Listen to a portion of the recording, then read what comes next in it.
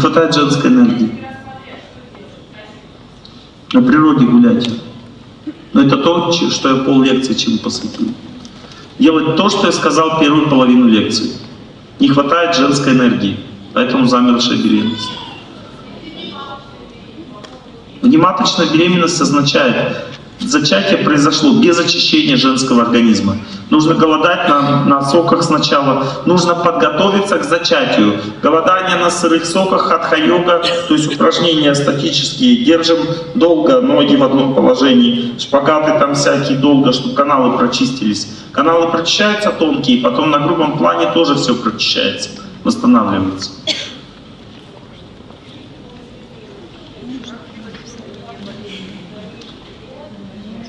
Если бы было кесарево сечение,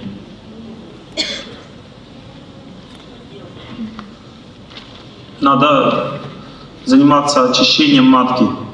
Хатха-йога, э, очистительное голодание, природа. Рубец рассасывается сам. Просто правильная жизнь, активизировать соки вот эти вот овощные в организме, чтобы они энергию вниз направили, и все там берется рубец. Матка самовосстанавливающийся орган. Где-то за год. Год будете вот делать, все нормально и восстановить.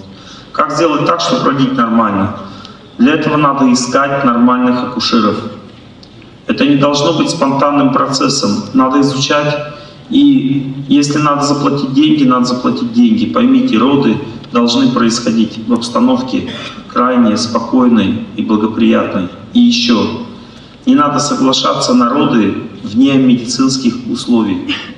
Это просто безумие. Если вам говорят, все будет хорошо, не верьте этим людям. Они вас могут погубить. Потому что обязательно там, где происходят розы, роды, должна быть, должна быть хирургия рядом. В любой момент может быть необходимость помочь выйти ребенку. Поймите, это не то, что я против как бы людей, которые помогают рожать.